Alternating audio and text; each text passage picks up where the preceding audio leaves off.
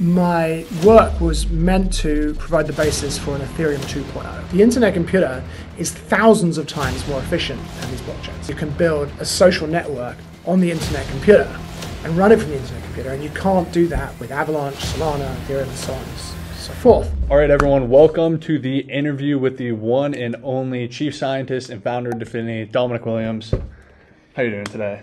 Good, Aaron. How you doing? All right, so guys, this is gonna be a big, big interview. We're gonna start with the first question. Dominic, how did you get into crypto?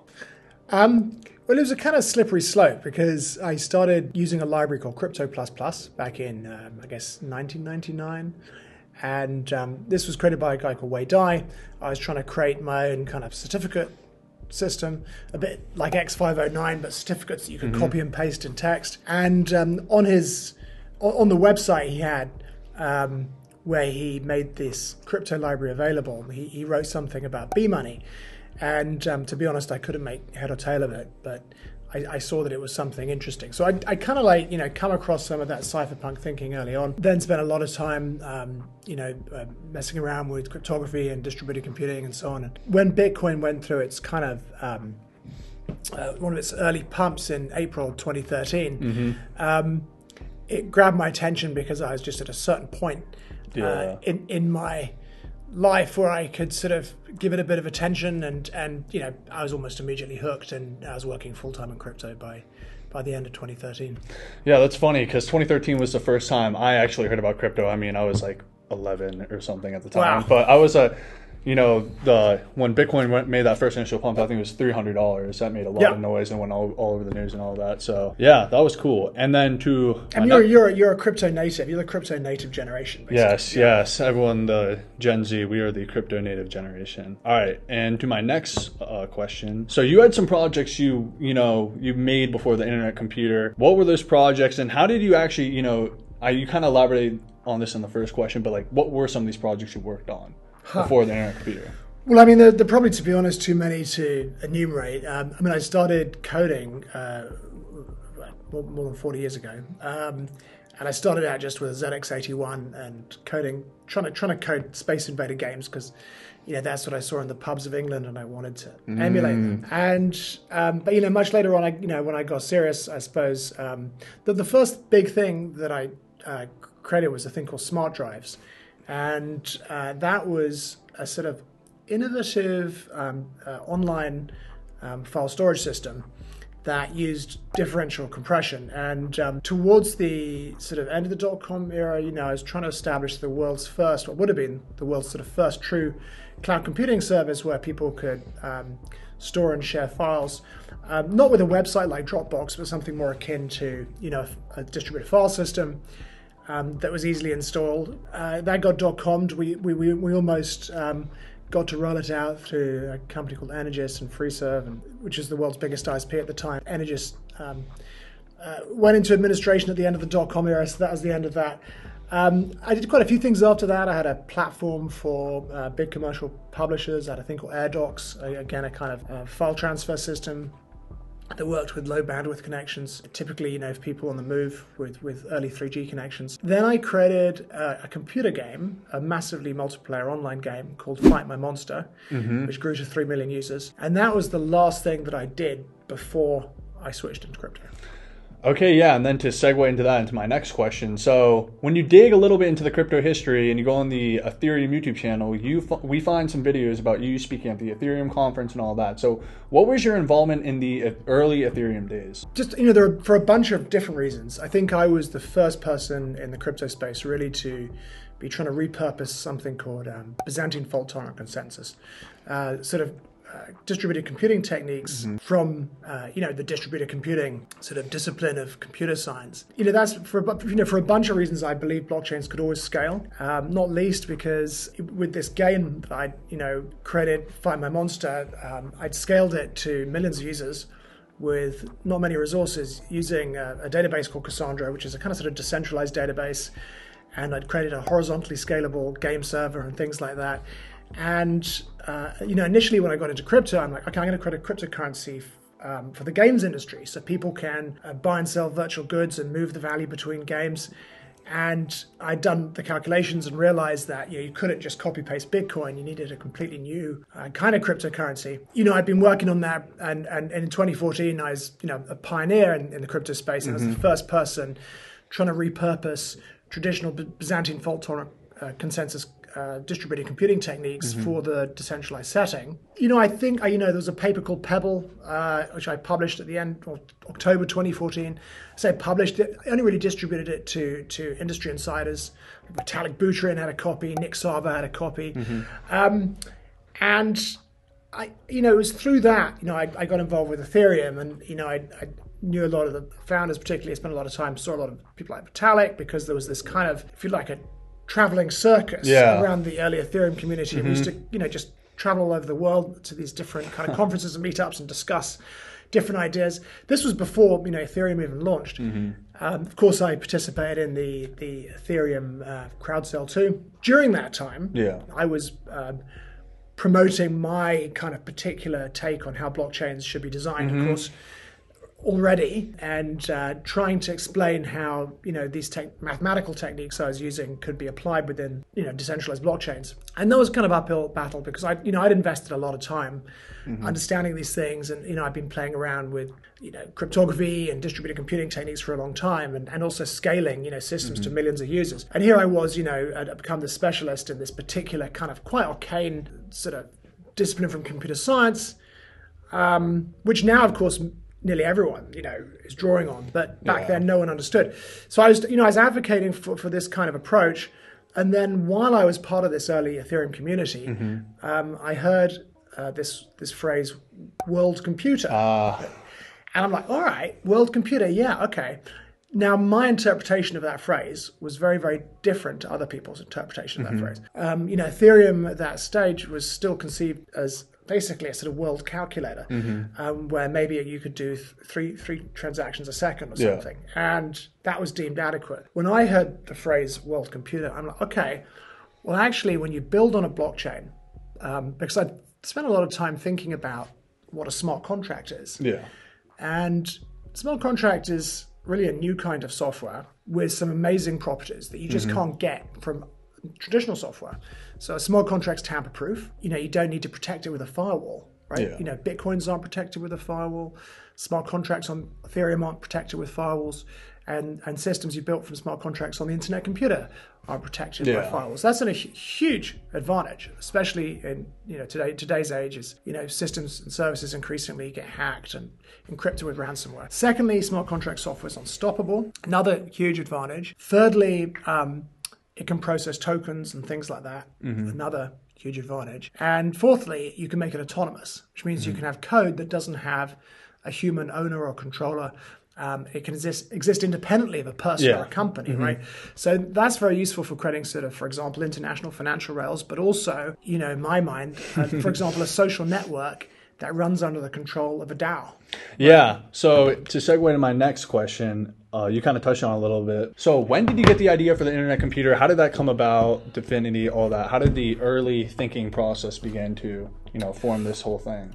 Yeah. So when I heard this phrase "world computer," I I, I actually abandoned the, the Pebble project, which was this. Um, you know, scalable cryptocurrency um, that was um, had a slightly different focus. It was designed for the games industry and, and, for recurring payments and social media and things like that. But you know, it was it, it, it used some did some interesting things, used some interesting math, and people can find it on. There's a wiki page detailing the history of the internet computer. The, the paper's up there. But once I heard this world word world computer, I'm like, all right, that's what actually needs to be built, and I want to build that. Um, so I sort of pivoted, I really abandoned Pebble and, and pivoted. The name uh, DFINITY was adopted early in 2015. And initially, my work was meant to uh, provide the basis for an Ethereum 2.0. Mm. And if you look at, um, you know, Ethereum 2.0 now, actually it's um, uh, very similar to the kind of things I was proposing early in 2015. But mm-hmm. you know, what I wanted was an infinitely scalable blockchain, or at least you know something that could scale without bounds, and that provided a single seamless environment. You mm-hmm. know, so you, it wouldn't matter too much what shard you're on, if you want to call it a Yeah. shard. I mean, we have subnets.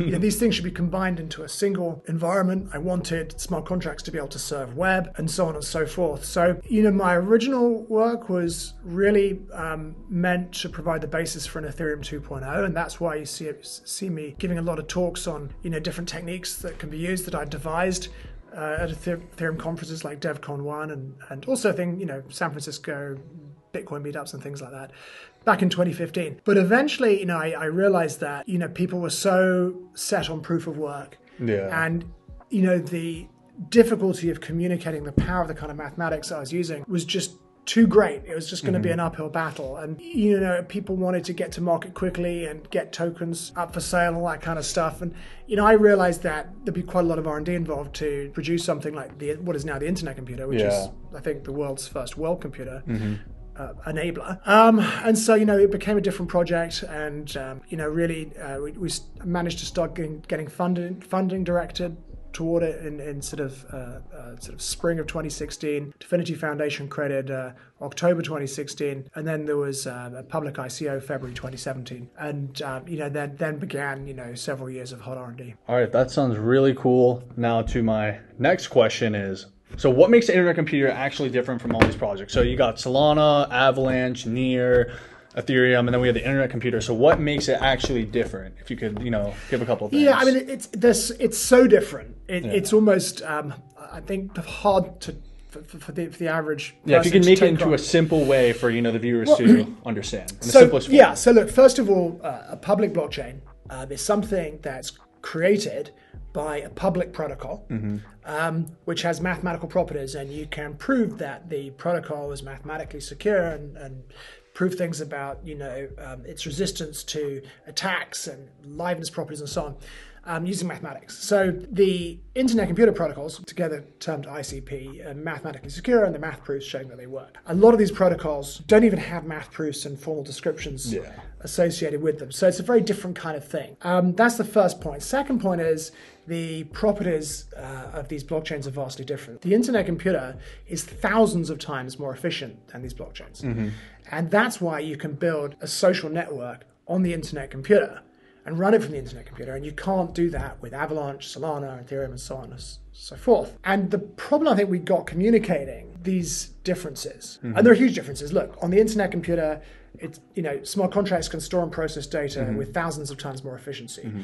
They can pre-finalize transactions, and so transactions can serve web content. There's a thing called reverse gas, so smart Yeah. contracts pay for their own computation. All sorts of things. They're really you know uh, very very different indeed. But it's challenging to communicate the differences because of the deliberately deceptive and misleading terminology that people in blockchain use. So, for example, you'll often hear something like, "Oh, look at this Web3 service; it's built on Solana," and that's just not that's just not true. You know, um, it's not built on Solana; it's built on Amazon Web Services, and then you know. All the data processing and content really lives there, and the web experience lives there too. Mm-hmm. And then, you know, that service, which is obviously intrinsically insecure because it's running on Amazon Web Services and subject to the whims of the developers and everything else, that service is then just maintaining a few tokens or NFTs on the blockchain and maybe some tiny clips of data. So it's not really built on Solana at all. You, you look at look into it further, you find that Solana is also running on cloud. Yeah. Maybe a bunch of cloud. You know, I look in reality, like you know, the probably you know three cloud operators, four cloud operators. Like you know, um, used to be Hetzner, but they turned them off. Amazon, and I don't know. And Yeah. so, um, you know, again, for someone like me, you know, who's been in crypto for a long time, I mean, is really a believer in something more than just the marketing. Yeah. Um, that's antithetical, right? I mean, I didn't get into blockchain to create a network that ran on top of Amazon Web Services. Yeah.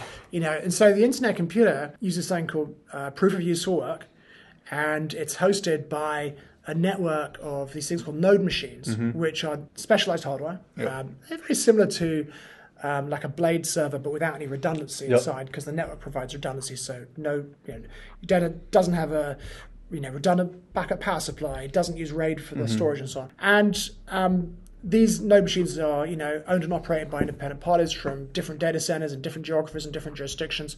And the internet computer combines these node machines um, using Internet Computer Protocol to create this giant world world computer which runs smart contracts. But it's a sovereign network. Yep. It's not running in the cloud. It's running on a sovereign network. It can't be turned off by big tech. And this is absolutely uh, essential to me. Yeah, because you know we've seen how big tech can just come and do whatever, and we've seen how Solana's blockchain is just completely shut down a couple times. So obviously the infrastructure can't be too good if it's shutting down every other month. Yeah, and then to our next question. So to touch on a couple of things, a couple of big things that are happening in the internet computer ecosystem is the recent Bitcoin integration with ckBTC, and then the upcoming Ethereum integration with maybe some ckETH. So could you elaborate on the integrations that have been happening in the past? You know? Yeah, so I mean, uh, for a couple of months now, um, the Internet Computer uh, gained some new chain key crypto capabilities that enables the blockchain to, on request from a smart contract, to give them a public key for which it doesn't have a private key, and for the smart contract to create signatures against that. Mm-hmm public key. So, for example, you can use a smart contract on the internet computer to create Bitcoin addresses or yep. Ethereum addresses, and then you can get the blockchain to, um, you know, sign transactions, right? Yeah. Um, so that's pretty cool. Um, but we've also been uh, performing, you know, more direct integrations of the network. So internet computer nodes actually talk to directly to Bitcoin nodes, and that makes it easy to um, send and receive Bitcoin from smart contracts um, just using APIs that the internet computer provides, um, which obviously is a you know kind of in itself is one of the things that's difficult for people to take on board. Like, what you can, you mean you can have a Bitcoin address and there's no private key? The, yeah. the whole blockchain needs mm-hmm. to create the signature to move it. Um, but yeah, this is actually already working. You know, you can send and receive Bitcoin directly on the Bitcoin blockchain, no bridges, using these internet computer APIs. Chainkey Bitcoin is almost like a kind of layer two on the internet computer for mm-hmm. Bitcoin, mm-hmm. and it provides um, digital twins for Bitcoin where you can send and receive Bitcoin in one second. So you could use it as an alternative to the Lightning Network. Now, that thing uh, is technically complete, but it hasn't, um, the, you know, everything on the internet computer is updated by proposals to yep. the network nervous system. Uh, no proposal has gone in to, if you like, completely unlock its capabilities yet, mm-hmm. because it was seen that there's some issues with um, tainted Bitcoin. Yeah. So one of the issue, one of the um, challenges with Bitcoin is because of the UTXO model, it's possible to treat coins almost as though they're separate entities, right? So if a coin passes through the hands of you know a North Korean hacker, say, it becomes yeah. tainted. And um, the danger is that you know somebody would use that kind of Bitcoin to create Chainkey Bitcoin, and then you know I could pay you in Chainkey Bitcoin. Yeah. And when you tried to you know you tried to use that as normal Bitcoin, you'd find it was tainted, and so perhaps you couldn't send it to an exchange or something yeah. like that.